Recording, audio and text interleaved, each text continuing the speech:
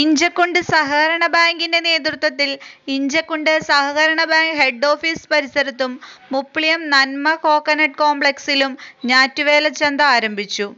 ഇഞ്ചക്കുണ്ടിൽ ഇഞ്ചക്കുണ്ട് പള്ളി വികാരി ഫാദർ ആന്റണി പാറാശ്ശേരി ഉദ്ഘാടനം നിർവഹിച്ചു. മുപ്ലിയത്ത് bank president P K Sankaranarayanan ഉദ്ഘാടനം ചെയ്തു. ഈ മാസം പന്ത്രണ്ട് വരെ ഞാറ്റുവേല ചന്ത ഉണ്ടായിരിക്കുന്നതാണ്.